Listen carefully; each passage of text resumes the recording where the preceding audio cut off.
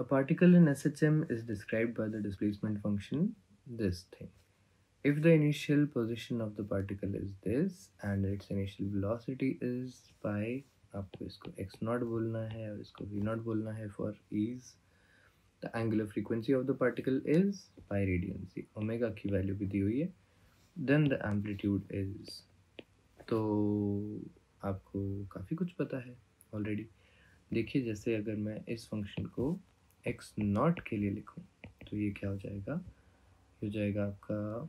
A cos of theta और x not की value हमको पता है वन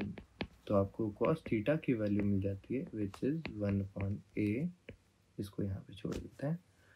अगर मैं इस फ़ंक्शन को डिफ्रेंशिएट करता हूँ और वी नॉट के लिए लिखता हूँ तो ये क्या हो जाएगा? ए माइनस साइन है ना? ये माइनस बाहर ले आता है।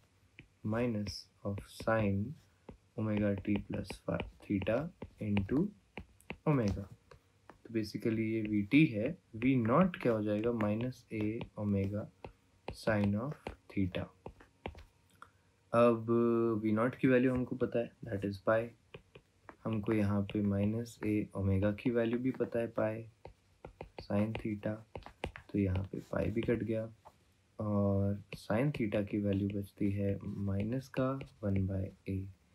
अब कॉस थीटा पता है और साइन थीटा भी पता है तो हम क्या करने वाले इनको squaring and adding sine square theta plus cos square theta is equal to one by A का whole square plus one by minus A का whole square one is equal to two by A square A square की value ए की value हो जाएगी root two this is going to be your answer